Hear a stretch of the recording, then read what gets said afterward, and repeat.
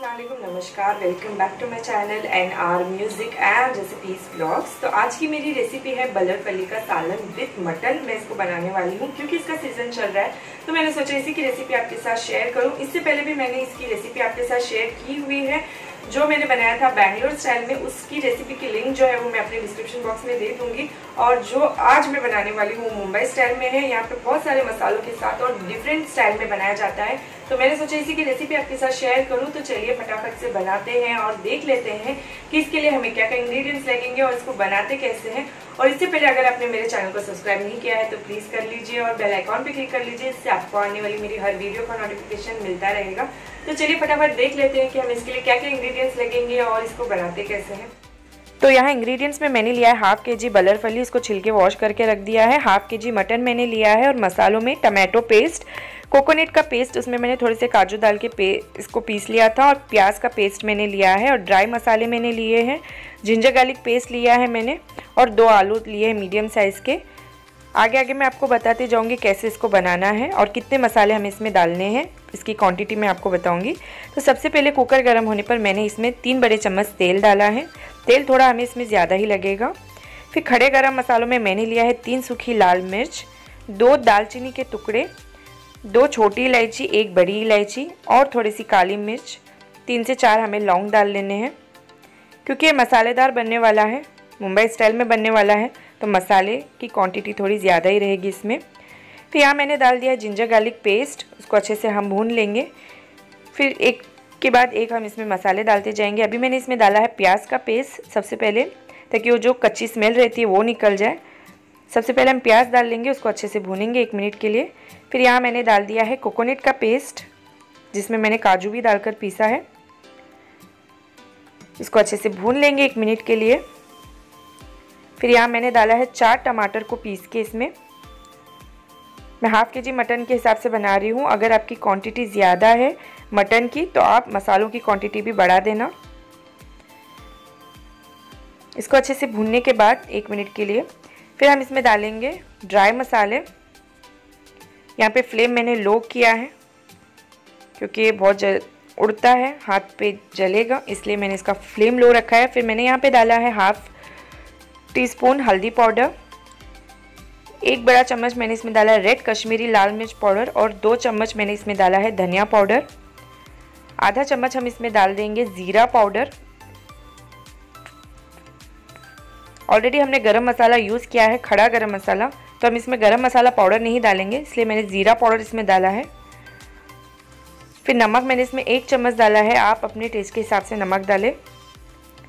इसको भी हम अच्छे से भून लेंगे ताकि मसालों की जो कच्ची स्मेल है वो निकल जाए।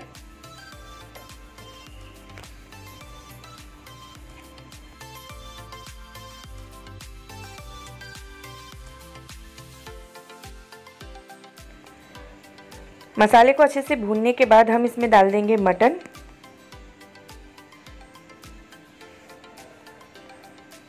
और इसको भी अच्छे से भून लेंगे मसाले के साथ।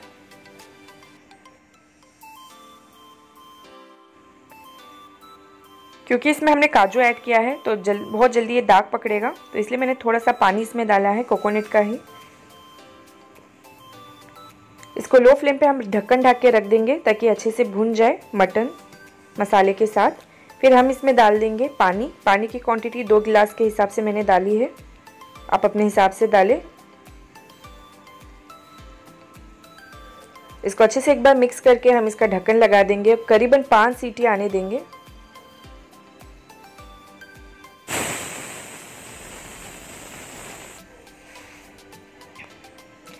पाँच सीटी आने के बाद मैंने इसका ढक्कन हटा दिया।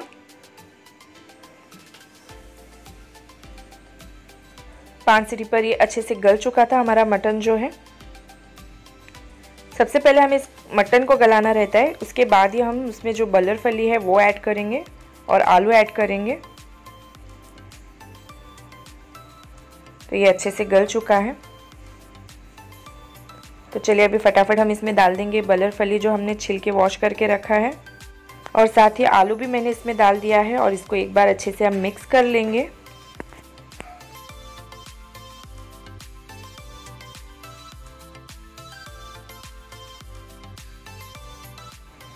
फिर यहाँ थोड़ी सी कसूरी मेथी इसमें मैंने डाली हूँ। इससे बहुत ही अच्छा फ्लेवर आएगा हमारी कर्री में। और एक गिलास के करीब मैंने इसमें पानी डाला है। और एक ही सीटी के लिए हमें इसको ढक्कन लगा के रखना है।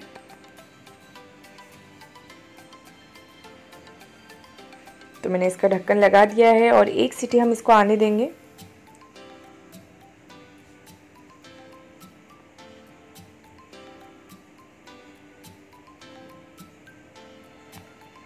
एक सीटी आ चुकी है ऑलमोस्ट हमारी जो एक ग्रेवी है रेडी हो चुकी है। लास्ट में हम इसमें गार्निश कर देंगे फ्रेश धनिया पत्ता से। आप इसको सर्व करिए स्टीम राइस और रोटी के साथ। मटन डालने से इसमें बहुत ही अच्छा टेस्ट आता है। तो बस यही थी मेरी रेसिपी आई होप आपको मेरी रेसिपी पसंद आई हो। अगर ज़रा सी भी पसंद आई हो तो प्लीज़ इसे लाइक करें, अपने दोस्तों रिश्तेदारों में शेयर करें। और अगर आपने अभी तक मुझे फेसबुक और इंस्टाग्राम पे फॉलो नहीं किया है तो वहाँ पे भी मुझे फॉलो करें। और ऐसी मज़ेदार रेसिपीज़ के लिए मेरे चैनल को सब्सक्राइब करें।